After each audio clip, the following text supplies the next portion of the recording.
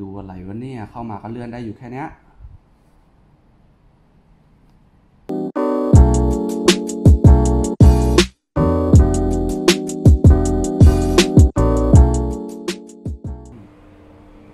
วันนี้จะมาดู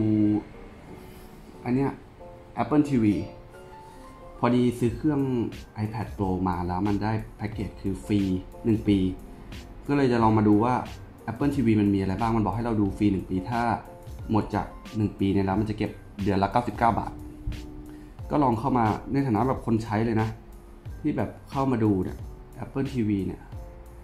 คือคอนเทนต์ทุกอย่างมัน มันไม่ได้ฟรีทั้งหมดนะ คือที่เลื่อนๆดูอย่างเงี้ยอย่างพวกเนี้ย ก็จะมีทดลองใช้ฟรีจะมีช่องการ์ตูนอย่าง ตัวที่เขาให้ใช้ฟรีก็จะเป็นแบบพวกสารคดีอะไรพวกนี้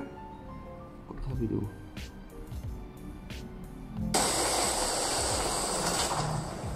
แต่คุณภาพเสียงโอเค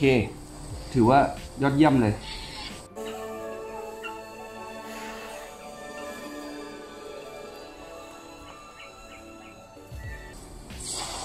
เสียงดีมากภาพคมชัด แล้วก็ พวกแปลภาษา โอเคอะเดี๋ยวผมบันทึกหน้าจอไปด้วยเลย ได้ไหมจะได้เห็นอ Apple TV ไม่ให้บันทึกหน้าจอเยี่ยมโอเค Apple TV ไม่ให้บันทึกหน้าจอก็ต้องดูผ่านตรงนี้ไปครับก็คือภาพชัดมาก แต่มันไม่เหมือน Netflix เลย คือมันเสียเดือนนึง ถ้าถ้าพูดถึงเราจ่ายตังค์นะไม่99บเก้าบาท อย่างจะดูหนังดูอะไรพวกเนี้ย มัน มันก็จะมีซีรีส์ของของของ Apple TV นะ แต่พูดถึงเยอะไหม ไม่เยอะนะ น้อย ก็จะมี The Lion King เอยดอลล่าพีน่า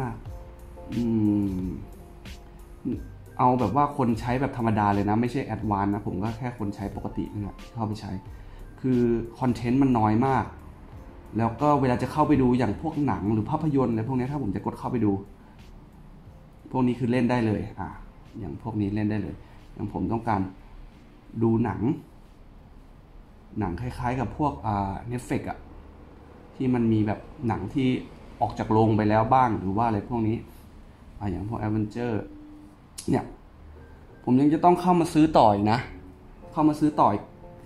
499 บาท หรือว่าเช่าดู แบบโอ้โห ทุกอย่างไม่ฟรีเว้ย จ่ายเป็นเดือนรายเดือนไปแล้วยังดูไม่ดูฟรี ต้องเข้ามาเช่าข้างในอีก ซึ่งถ้าเทียบกับ Netflix คือคนละเรื่องเลย Netflix 99 บาทก็ดูได้แล้ว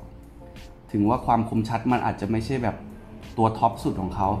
แต่ก็สามารถดูได้แล้ว แต่อัน99 บาทดูอะไรไม่ได้เลย โคตรจะโคตรจะแบบ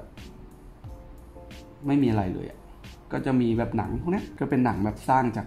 อ่าน่าจะเป็นแบบผู้ร่วมสร้างกับ Apple TV นี่แหละ And yet our industry dwarfs the traditional entertainment business. เฮ้อเฮ้อเฮ้อเอาจริงแล้วผมไม่ค่อยปลื้มเท่าไหร่กับ Apple TV นะ มันเหมือนเราไม่ได้อิสระอยู่ข้างในเนาะ เราเข้ามาในแอปเสร็จเรายังต้องมาหาเสียตังค์ข้างในเพื่อจะได้ดูอะไรบางอย่างที่เราอยากจะดู ก็โอเค ในบางอย่างมันไม่ได้เก็บตังค์เราหรอกมันก็คือเก็บตังค์เราไปแล้ว Snippy, but I'm late for the school space plane. ฉะนั้นถ้าเพื่อนๆจะสมัคร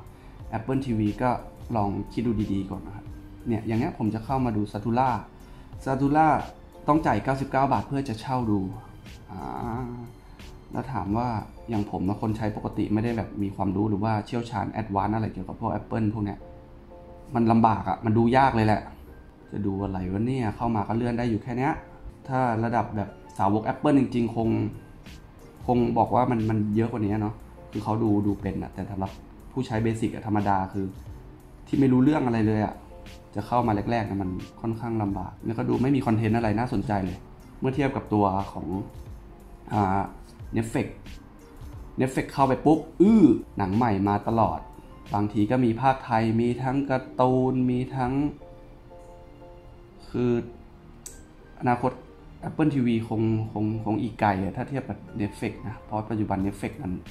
มันไปไกลมากอะที่ใช้ใช้มาผมก็ยังว่า Netflix มันโอเคอะแบบไม่ใช่ติ่งแบบเกาหลีจ๋าเลยนะถ้าเกาหลีจ๋าอาจจะต้องไปดูแอปพวกเกาหลีอีกทีนึงแต่โดยรวมผมการ์ตูนเอ่ยหนังเอ่ยอะไรพวกนี้ซีรีส์เอ่ยโอเค Netflix ถือว่าถือว่าจบสำหรับผม ในการจ่ายเดือนละร้อยกว่าบาท ถือว่าโอเคกว่าอ่า Apple TV เยอะเลย ฉะนั้นมันทำให้ผมตัดสินใจได้ค่อนข้างลำบากว่า ผมจะไปซื้อกล่อง Apple TV มาเพื่อจะบันทึกหนังบันทึกอะไรเงี้ยมันสู้ Netflix ไม่ได้เลย ผมซื้อ iPad มาเครื่องนึงผมลง Netflix ผมดูได้ละ หรือว่าซื้อ Smart TV ออกมาสักสักตัวนึงเนี่ย ผมดูได้ละ ชิวๆเลย โอเคก็ฝากเพื่อนๆไว้เผื่อว่าใครแบบยังดูว่า เฮ้ย ไอแอปของ Apple TV นะมันโอเคไหม มันน่าจะลองดูสักเดือนไหมอะไรเงี้ย ส่วนตัวผมนะผมไม่ซื้อ 99 บาทก็จะไม่ได้จากผมนะ มันดูแบบ ไม่มีอะไรอะ่ะ ไม่มีอะไรเลยอะ่ะดู พวกนี้ต้องเช่าซื้อหมดเลยเนี่ยหนังเนี่ย CJ7 แบบโอ้โห หนังนานมากแล้วว่า แต่ยังต้องเช่าซื้ออยู่อะ่ะ หนังเอเชีย ฉลาดเกมโกงต้องซื้อหมดเลย จบข่าว โอเค ลาไปก่อนครับ วันนี้มานอนคุยเล่นดูครับสำหรับเจ้าตัวแอป Apple TV โอเค ขอบคุณมากครับ ครับผม ลาไปก่อนครับ สวัสดีครับ